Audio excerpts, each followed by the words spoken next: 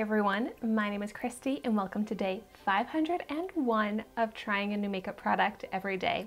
Today I'm going to be trying out the Dr. Brandt Pores No More Luminizer Primer. So I actually got this in my summer FabFitFun box as a mystery gift and I was so excited about this because I like this brand and I love makeup products. So I'm like, this is the perfect mystery gift for me. But so if you want to see my summer FabFitFun unboxing, I will link that video down below.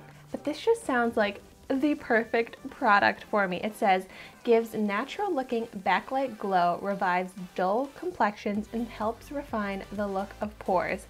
And one of my major skin concerns is large pores, especially along my cheeks and my nose. So my favorite types of primers are the ones that minimize the look of pores.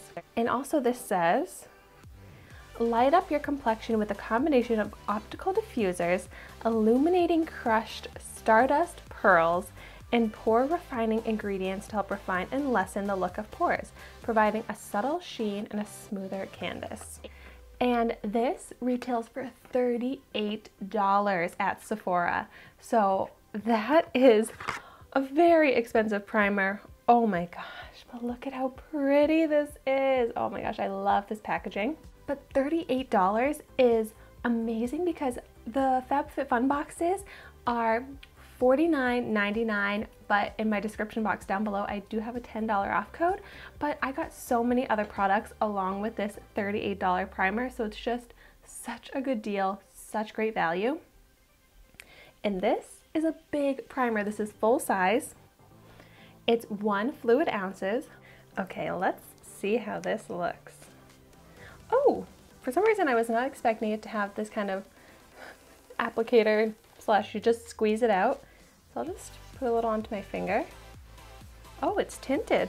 So I'll just start out with that much. Rub it between my fingers.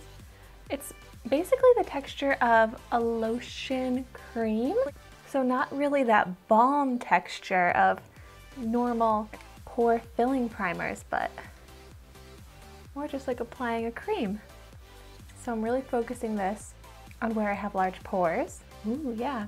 You can definitely see that sheen, that luminosity, but I like that it's not super glittery and Tin Man type of sheen to the skin. It actually just looks like a really natural, pretty glow, even though if you look very closely you can see a little bit of the shimmer. But gosh, I feel like it's just like the perfect amount of kind of that glow for this to be the perfect wear alone type of product if you didn't want to wear any foundation on your skin. And it did kind of minimize the look of my pores.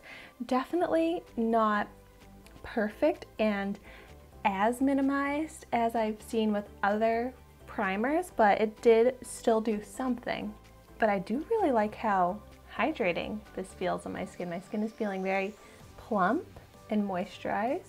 And also a little bit goes a long way. That tiny little bit that I took, probably around a pea size amount, was the perfect amount to cover my entire face. But just for the fun of it, I'll go ahead and add a little bit more. See how this layers up.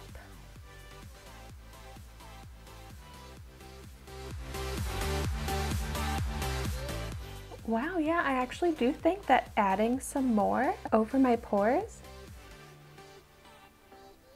actually did help to minimize them even more. Ooh, wow, I'm impressed by that. Yeah, I feel like maybe when I first applied it, my pores got like 25% smaller and then I just added some more. And now they look, I would guess like 25% smaller again. And then as always, when I'm trying out a primer, I like to try the e.l.f. Flawless Finish foundation on top of it. So I'm going to go ahead and apply the foundation.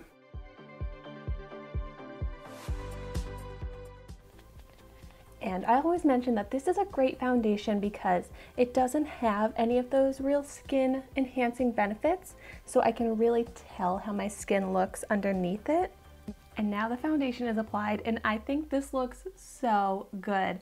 I think that my skin has this beautiful radiance to it, but it also looks so smooth. So this really did help smooth out the texture of my large pores. I feel like my skin is very hydrated too, where I get kind of dry on my chin, kind of like the sides of my face here along my temples. It still looks very smooth. So I'm very happy with this so far but I'm going to continue wearing my makeup for the rest of the day and in the description box down below I will put my wear test results of how the foundation, how the makeup lasted with this primer. If my skin got really greasy or the texture came out, anything like that, I will put that in the description box. And if you've tried this before, definitely, as always, let me know your thoughts on it in the comments down below. And thank you so much for watching my video today.